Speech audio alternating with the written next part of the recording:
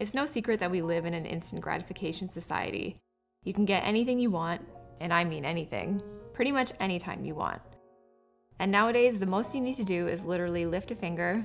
Like, really, you literally press a button, the thing scans your face, and that thing's gonna be at your door in a day.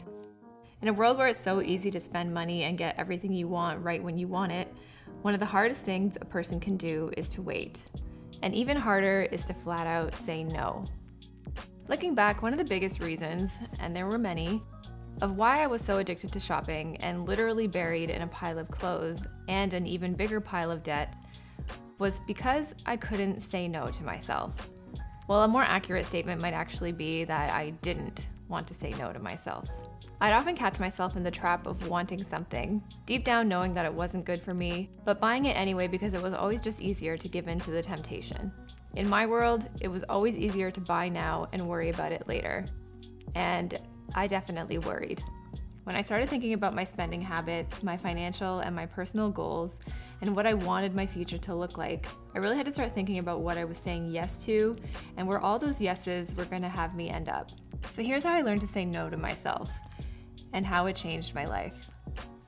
Sometimes it's as easy as saying no and walking away. But if you're mostly used to saying yes and dealing with the consequences later, then I think some of these steps can help you walk your way through saying no, sticking to it, and instead of walking away from where you want to be going, you start to shift your direction a little bit. The first step to saying yes or no to anything is taking notice of it. Noticing that you like something, noticing that little increase in heart rate and in your breath, and your brain starts to tell you, Ooh, I like that. Well, just the same, learning to say no to yourself means taking that same notice. And instead of acting on that impulse, giving into that dopamine hit, and taking the easy way out by adding to cart, take notice of the thing that you're interested in. And then consider this next step, which is ask why and ask how. So you notice something that sparked your interest, and instead of acting on it, you pause to ask yourself some questions. Increasing your awareness of how you're feeling is massively important. Why did you take notice of that something? Were you shopping around and scrolling in response to a feeling? Maybe you were bored, upset, or maybe you were just simply looking to distract yourself. Or you simply want it just because. And that's totally okay, but it's also good to think about why. Taking notice is a pivotal step when it comes to saying yes, and even more so when it comes to saying no. You have to know what it is that you want and why you want it. And it does require you to dig a little deeper than simply just saying, Ooh, I like that.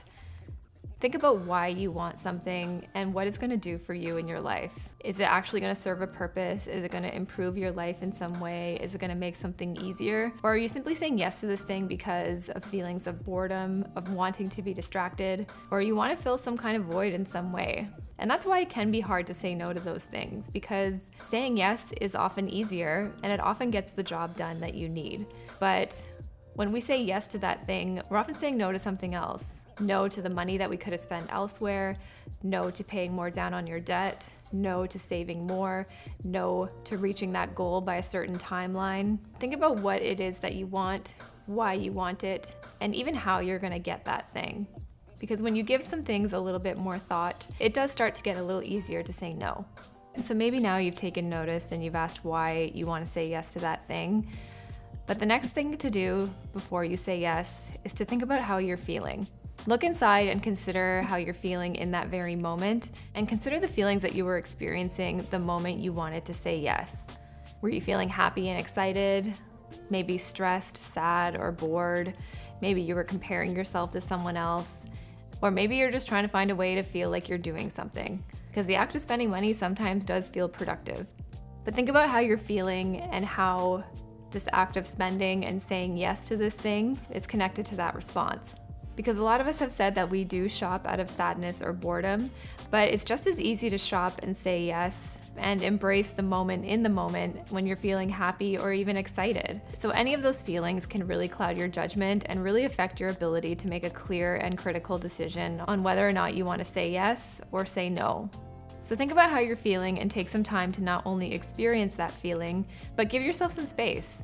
You don't have to make the decision right away, and giving yourself space from that can make that decision a little bit more clear and a little less emotionally connected. The next way I've learned to say no to myself is to simply say not now. And the way I do that is by writing down what it is I thought I wanted or wanted to do on a wish list. This for me really gives me time to think about what I want, why I want it, when I realized I wanted it, and it gives me the space and time to think about what steps I want to take from there. For me, a lot of the times when I went shopping, it's because I wanted to feel productive and like I was doing something. And it's because I really didn't have anything to work on other than that. So why not work on things like my personal style? But instead of buying something that I want right when I want it, I write it down on the list and give myself some breathing room. This gives me time to think critically about it, to decide what I'm saying no to if I do say yes, and to make a plan to get this thing to figure out how I'm gonna pay for it, how I'm gonna put it in my budget, how I'm gonna make room for it in my wardrobe, and this even gives me a chance to forget about the item altogether, in which case it helps me say no.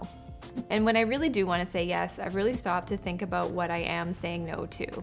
It really helps if you make a plan and plan out your goals and think about the life that you want to shape for yourself. Think about what's important to you, what you value, and the life you want to live for yourself. I think a lot of times when we impulse and default to just saying yes all the time, it's because we're trying to please other people, be part of the crowd, or find acceptance in some way. Whether that be saying yes to a project that maybe you really didn't want to work on, but you don't want to look bad in front of your boss, saying yes to yourself when you feel like you want something, saying yes to going out for a night of drinks when you have a goal to cook more at home, or maybe you have some health goals that you're trying to achieve. Think about what you're saying no to when you do say yes. And you can learn a lot more about this through Greg McKeown's book Essentialism because when you narrow down what's most important to you, you stop saying yes to the easy or trivial things in favor of saying yes to maybe the harder things, but the things that are most important to you. And when that feels clear to you, saying no to things that get in the way of that suddenly becomes a lot easier. So, when it comes to saying no to things, sometimes it is just as simple as saying no and walking away. But other times it's a little more difficult, especially if you're used to saying yes to almost everything that you want right when you want it. But if you're mostly used to saying yes all the time and dealing with the consequences later, then I think some of these steps can help you walk your way through saying no, sticking to it, and start walking in the direction that you want to take yourself. Because sometimes it is just as simple as saying no. So I hope this video helped you in some way. Leave me a comment down below and let me know how you learned to say no to some things and how that may have helped change your perspective and even change your life. Thanks so much for watching guys. I'll see you in the next one. Bye.